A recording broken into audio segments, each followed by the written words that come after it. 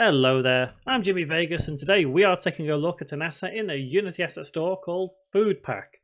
Now this is a strange one, I'll be honest. Uh, it's actually published by Unity Technologies themselves, uh, but let's take a look at the actual assets.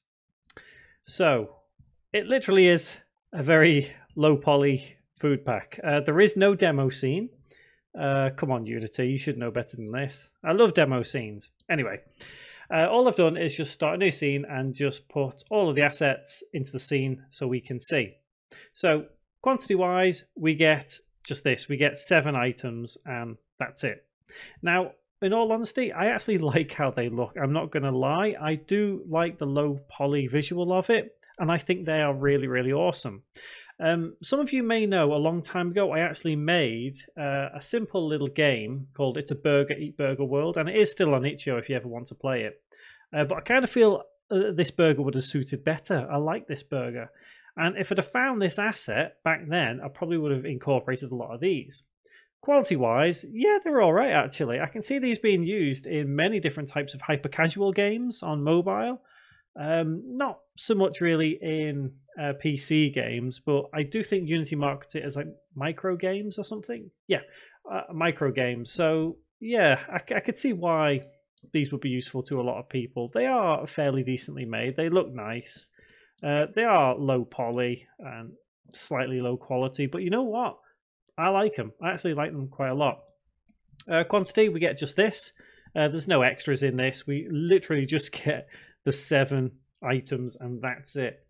How easy are they to use? Very easy. They're just pieces of food that you can put into a game. Uh, what sort of game would they be used in? Well, like I said earlier, uh, anything hyper casual that is somewhat food based, I could see these being uh, used. So I, I, do think at the moment there are a couple of hyper casual games built on um, people who are running along and eating food and getting bigger, eating healthy food and getting slimmer.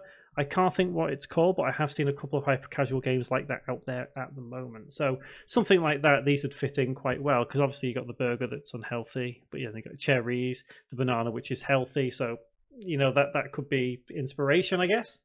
Obviously, these aren't going to go quite so well in other types of games like your realistic first-person shooter or some kind of survival horror, unless that survival horror is meant to be a little bit cartoony and funny-ish, I guess.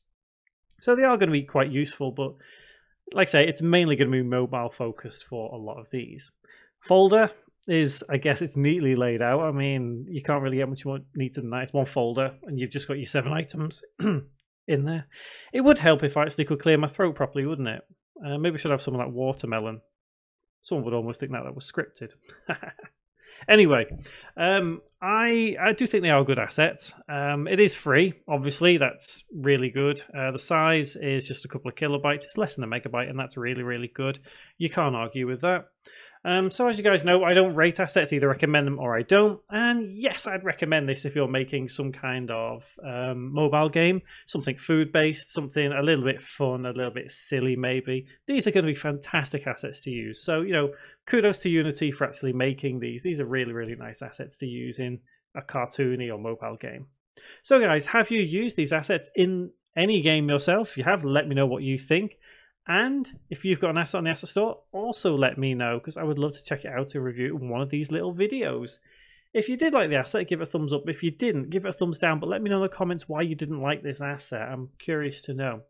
Finally, don't forget to click subscribe and click on that bell icon as well to stay up to date with everything I upload on this channel on video game development, whether it's reviews, tutorials, gameplays, information, anything. Hopefully, I'll see you guys in another video. Thanks very much for watching.